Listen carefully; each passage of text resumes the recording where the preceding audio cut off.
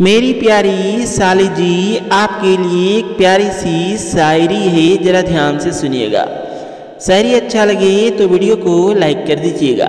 तो चलिए वीडियो को स्टार्ट करते हैं।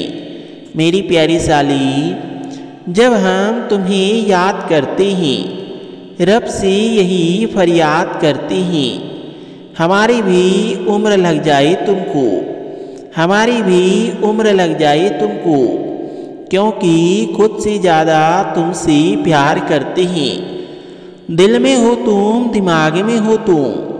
बस एक ही कमी है, मेरे पास नहीं हो तुम। I love you ji.